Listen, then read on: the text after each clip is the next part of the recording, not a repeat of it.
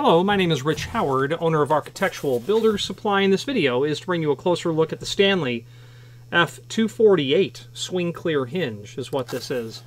This is a swing clear hinge, and this is what it looks like uh, in the satin chrome or US 26D finish.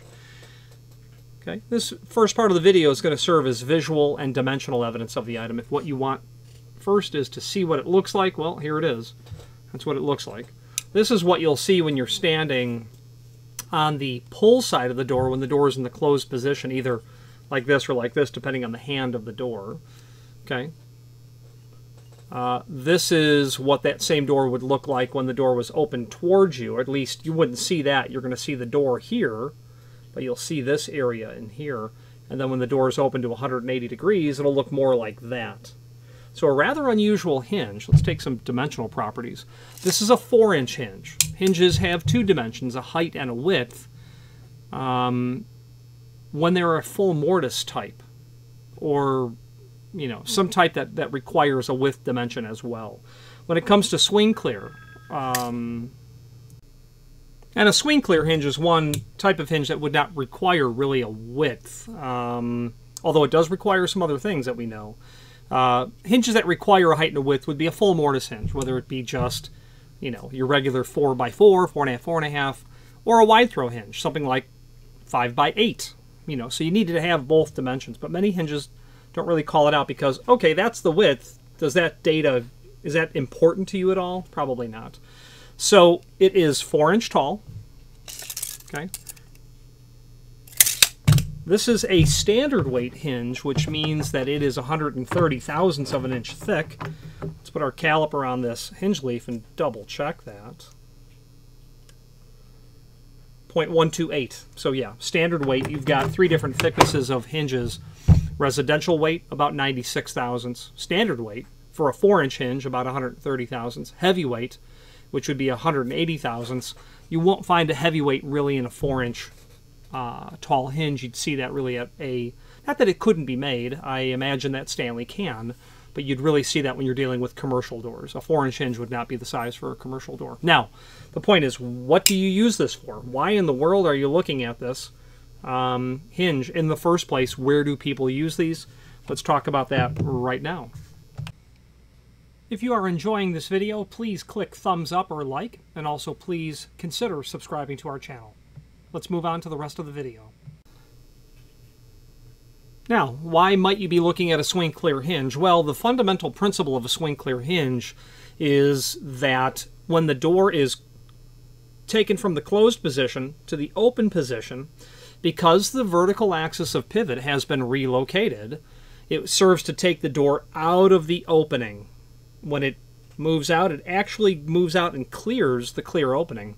In your mind's eye, imagine a door. You're standing on the push side. When you take that door and open it to 90 degrees, forget the door now. Now just measure between the stops. So just a simple example, um, a three foot, let's let's let's say a two foot eight, a 32 inch residential door. The door itself is 32 inch. The inside of the jamb is going to be closer to about 32 and 3 eighths, something in that range.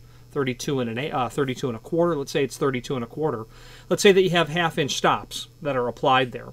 So 32 and a quarter minus half inch minus half inch, 31 and a quarter is now your clear opening. But when you have a standard hinge, when that door goes to 90 degree, part of the outside heel edge of that door is encroaching into that 31 and a quarter space. If you have need to get wheelchair traffic through that door, and frankly, people that purchase these hinges these three and a half F248s, maybe a four inch F248, are literally in residential applications where someone who has come home now um, requires the assistance of a wheelchair, squeezing every inch, every quarter inch, every half inch out of an opening to allow people to continue living life as no, close to normal as possible is the goal and the purpose of swing clear hinges that's likely the application for this hinge. In the commercial world, you have a requirement, uh, a federally mandated requirement to maintain a minimum clear opening size. When you're dealing with doors, that has to be a, a clear opening size of 32 inch. If you have a three foot door hung on standard hinges and you work the math your 32 inch minimum clear opening is observed. But if you have a 2 foot 10 door, now you have a problem. That same, that same logic will not hold. So when you determine your clear opening size, and it comes down, down to the door being in the way when it's at 90 degrees, or any degree really, and that moving the vertical axis of pivoting over will allow the door to move out of the opening, that solves your problem. That's why you're likely looking at this hinge. That vertical axis of pivot relocation, if this was a standard hinge, your, your hinge barrel would be right about here. But when we move it so far over, it's really going to allow that door to get out of the opening completely. If this vertical axis of pivoting was over here, that door would be would be encroaching into the clear space, but not when you have a swing clear hinge. It just moves it. Other hinges have the capability of doing this as well. Another hinge, I should say, and that's called a Harmon hinge or a pocket pivot uh, or a pocket door hinge. The term pocket is used in different ways, very different ways, in fact. A lot of people will think of a pocket door as a door that slides into a cavity in a wall. Sure, let's call it a pocket door. But a pocket hinge is a very different animal, uh, where it will, uh, where it acts like a swing clear hinge, in the sense that its vertical axis of pivoting has been relocated, such that when the door opens, it is completely out of the uh, opening space altogether. Um, and that's called a Harmon, H-A-R-M-O-N, or a pocket hinge or a pocket pivot. You will find those. It's interesting review to do. If you are enjoying this video, please click thumbs up or like, and also please consider subscribing to our channel. Let's move on to the rest of the video. Now let's do a tour of what's in the box. You're going to get the hinge. Um, this is going to be available in 3.5, 4 inch, 4.5 inch. I'm quite sure they can do 5 inch as well.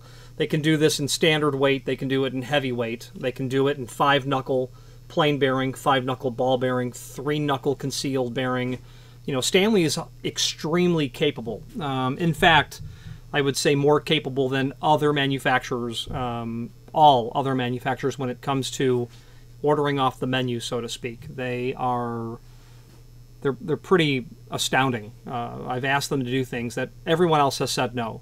Um, and Stanley is not my first hinge company that I would think to work with. I work with others more primarily. However, Stanley's capability and their their fit and finish, in fact, you know, the quality of the fit and finish is very good. Uh, what I mean by that is the hinge looks presentable. It's just a hinge. A lot of people don't really think of it, but you know, you're paying money for this hardware. you want it to look nice, and, and Stanley always does a very good job with that. The telltale sign is always what does that leaf look like? Is it very flat all the way across? Is there milling run out at the very end? In the crotch of the hinge barrel, have they finished it very well? You can see here and here that there's a difference in how the light is reflected, and that's because it's not brushed, because they can't get the tool in there. But they do a good job, meaning they they exert effort to make it look finished. Not every manufacturer is so good at doing that, um, I can tell you. This has a button tip on it. Looks like the button on your shirt or the button on your coat. Has a hole down here, which means you can drive that pin out. In fact, the Stanley hinge includes such tool, and there's and I'll show you where the there's a link that shows you how to drive that out. You basically put that in there, and then you just tap on that. Now, why would you reverse the hinge pin? Well, I would think that you want the solid tip at the top and not the tip with the hole. Most people won't recognize that. A door person would.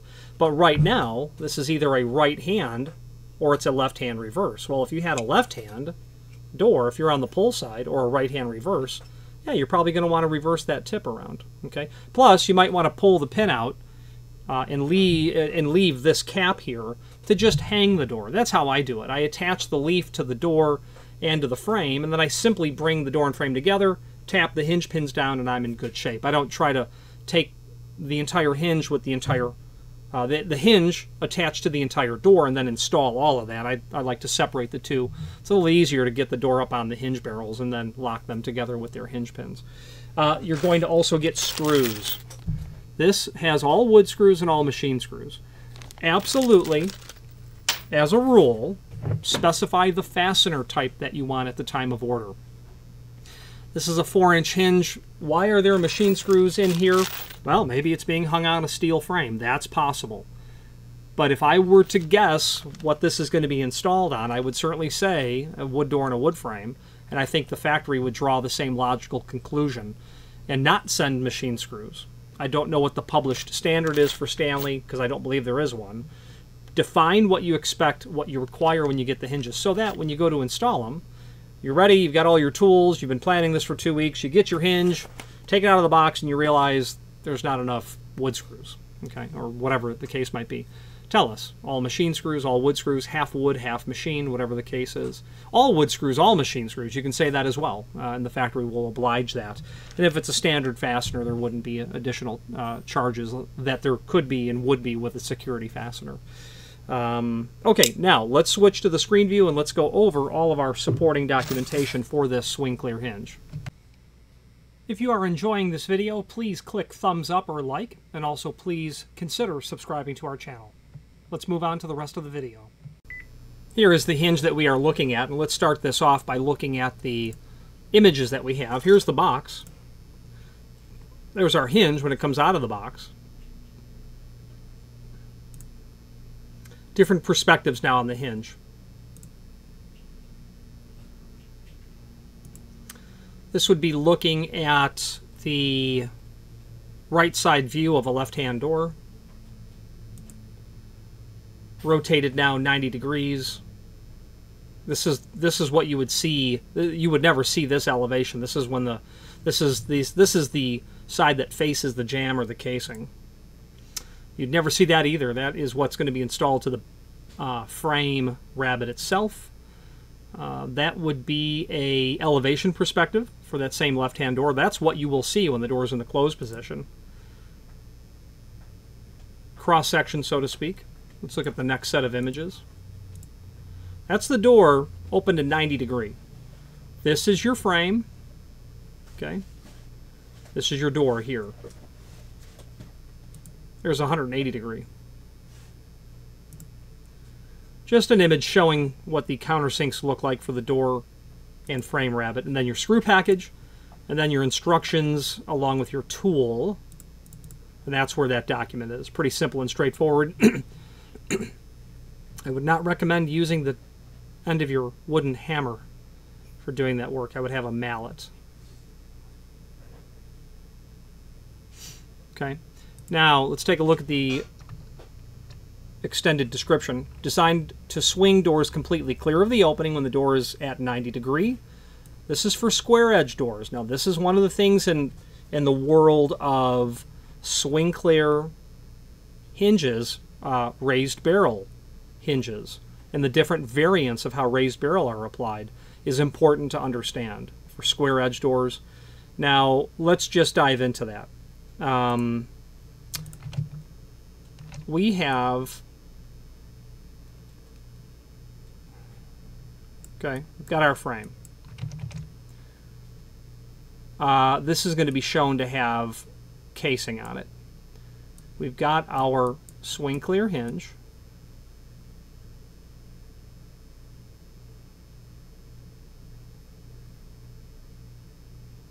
Okay and we have our then we have our door Now, what we're trying to drive at is the relationship of these two leaves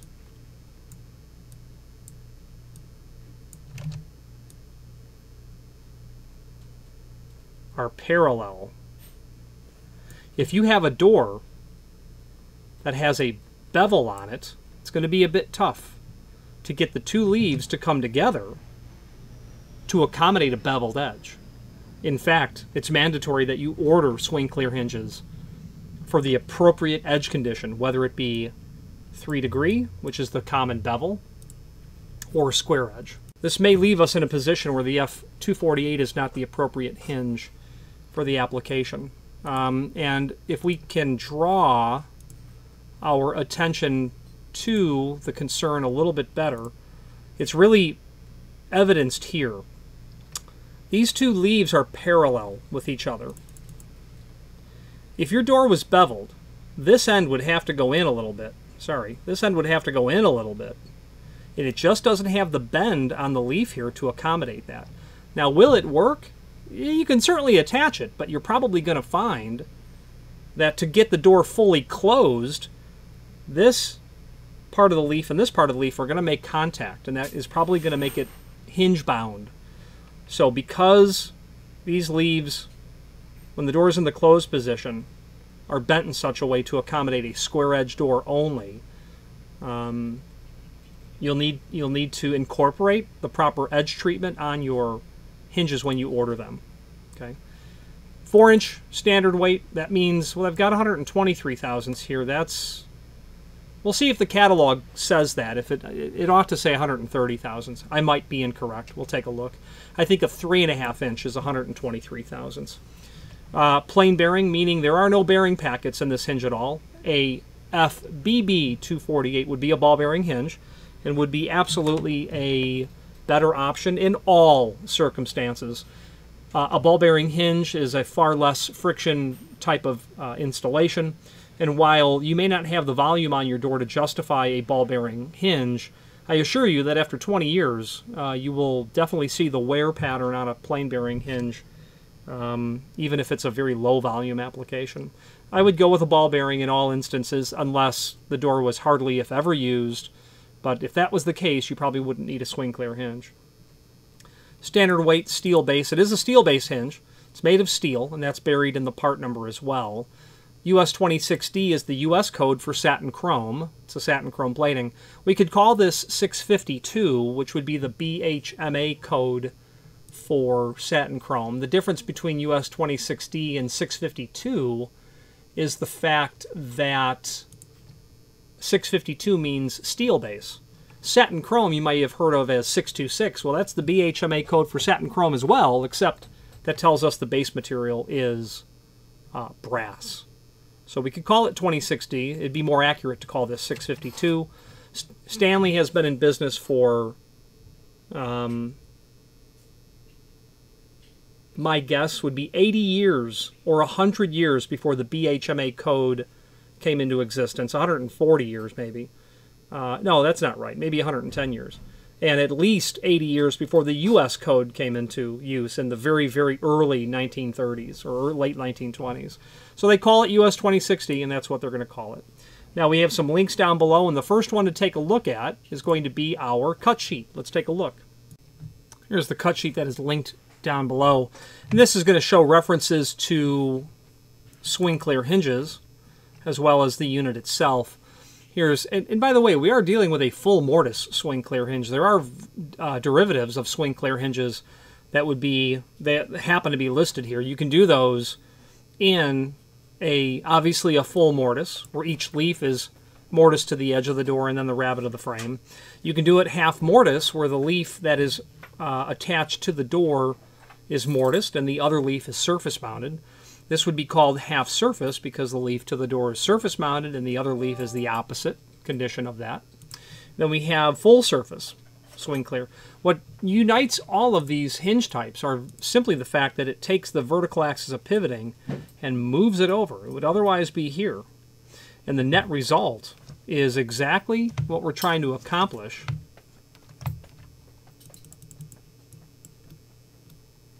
Sorry.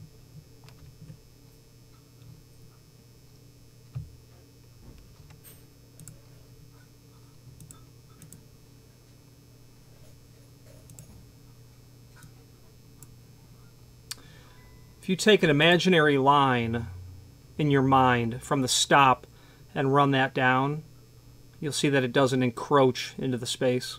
That's the point of the swing clear. If this was shown at 90 degree, this heel edge would be hanging into the space here.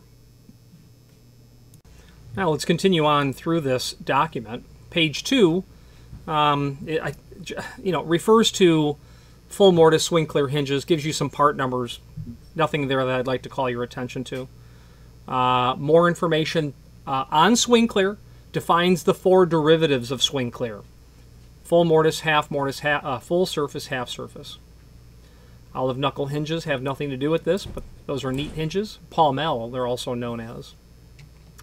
Now we're going to get into the cut sheet itself. This is our F248.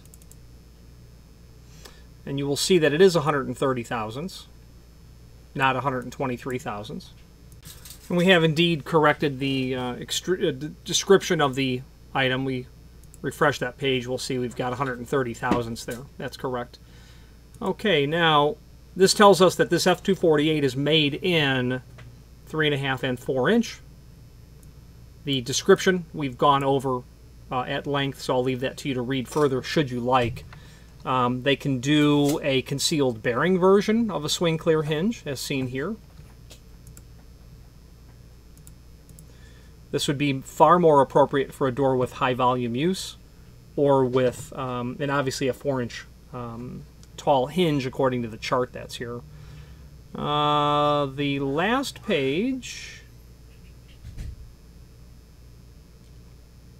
appears to be a duplicate of the first page. Now, our beveled square edge problem the bottom line is available for full mortise application on square edge doors only. Therefore, they do not make a beveled edge version. If you require a swing clear hinge for a hinge for a beveled edge, reach out to us. Don't buy this hinge. It's not going to work right. Let's get you the right hardware um, and be sure that we are in a good position for that because